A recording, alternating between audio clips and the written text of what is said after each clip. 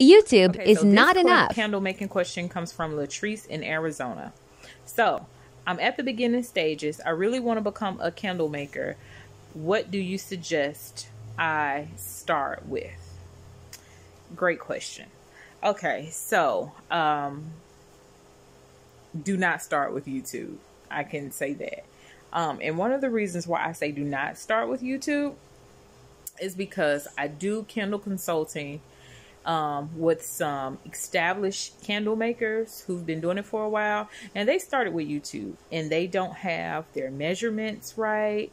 Um, they don't know the whole science of candle making. They don't know which wicks to use, um, which wax to use, because when you look at something on YouTube and you see it, you think to yourself, "Oh, I can do this too," but it does not give you the full details unless you took somebody class or you, you know, found one of those videos that give you all the tea which you really don't find a lot of those on YouTube. So I would say the first thing to do is make sure that you do your research. Get you a book, okay? Pay for a class.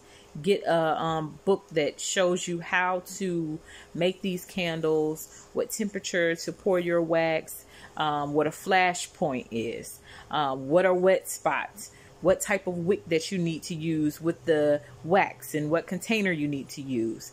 Um, what fragrance oil you need to use. All of things all of these things need to be addressed before you start to make your candles, okay?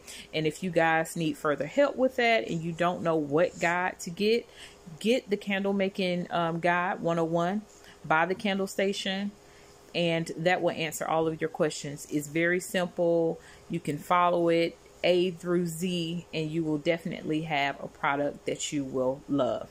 Um, and if you want to go further, then go ahead and book a class. If you're in the Atlanta, Georgia area, go ahead and book a four hour class. That way you leave with candles and you'll know exactly what you're doing, okay? And it includes a candle making kit.